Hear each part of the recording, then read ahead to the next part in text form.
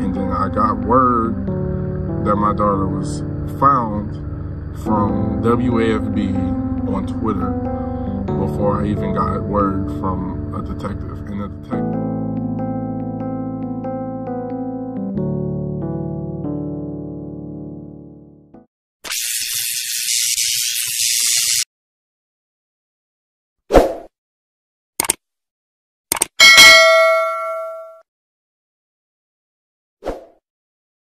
Nevaeh Allen was born to Lanaya and Marcus Allen.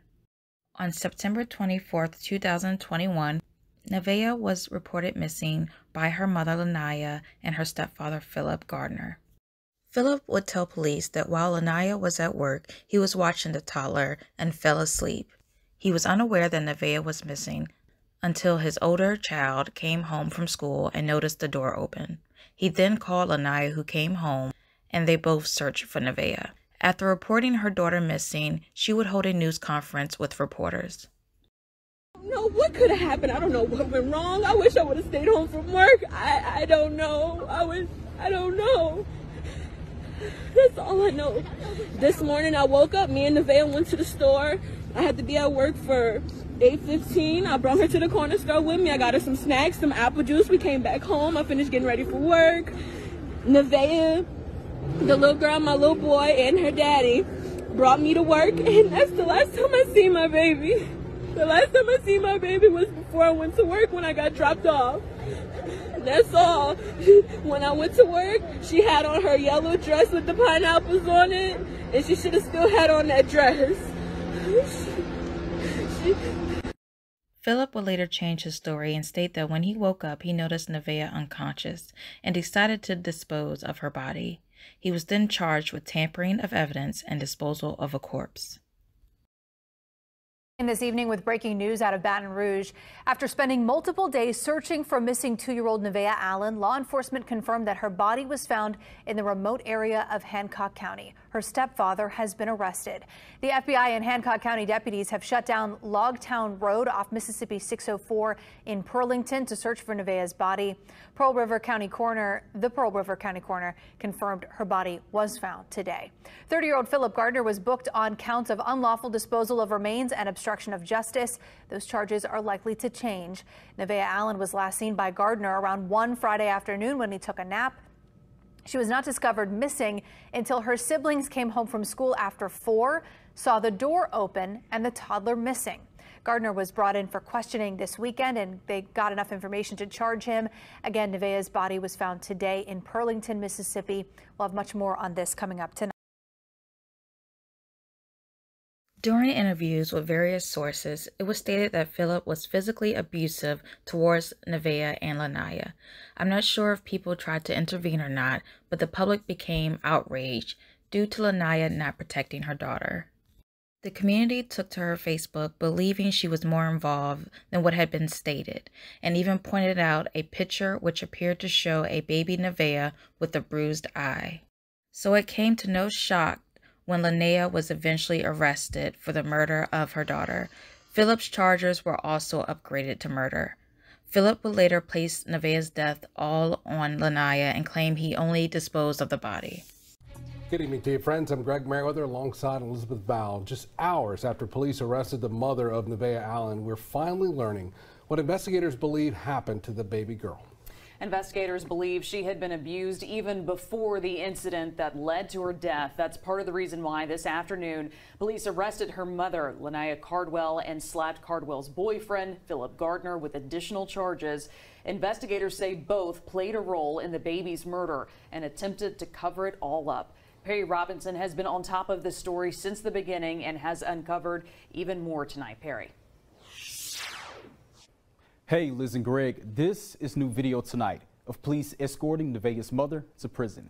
And since our last newscast, we've also learned exactly what investigators believed happened, to, happened the day the toddler died. But we must warn you, though, the details you're about to hear are graphic. Tonight, Lanaya Cardwell and her boyfriend Phillip Gardner are behind bars for killing this sweet and innocent child, Nevaeh Allen. Cardwell and Gardner were both booked on charges of second degree murder. And it saddens me to have to stand here with our partners and hold a press conference to discuss the fact that this beautiful, innocent angel is no longer with us. According to arrest records, Gardner says on the day he reported the baby missing, he saw Cardwell punch Nevaeh in the stomach for grabbing her contact lenses. The baby reportedly fell back and hit her head on the cabinet. Gardner then took Cardwell to work.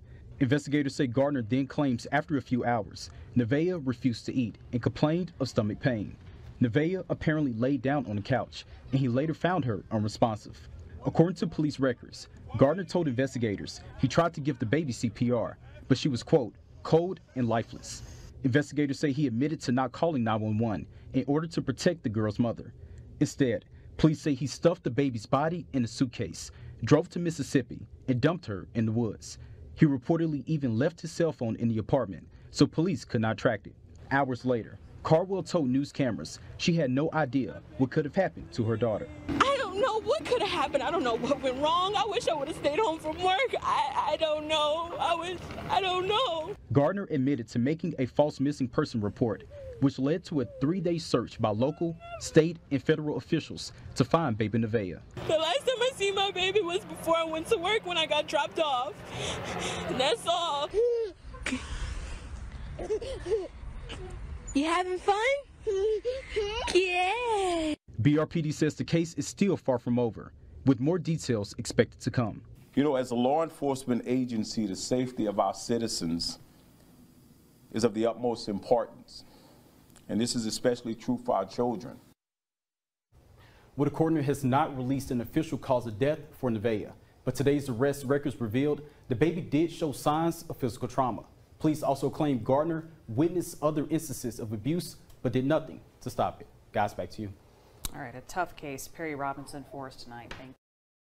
Marcus Allen will later upload a video detailing what he knew about the events the day of his daughter's disappearance, also making it known that Lanaya and Phillip were never married, and that the person reporters interviewed as Nevaeh's grandmother was not related to her. He also pointed out how he found out about his daughter's body being recovered. And then I got word that my daughter was found from WAFB on Twitter. I wanted to mention that Phillip and Lanaya have an 11 month old together, and Lanaya is currently pregnant with their second child. This story is constantly developing and changing. We will keep you updated as we learn more. We pray for comfort for the Allen family and the other children of Lanaya. May Nevaeh rest in peace, forever two years old. Ready, set, go. Good job.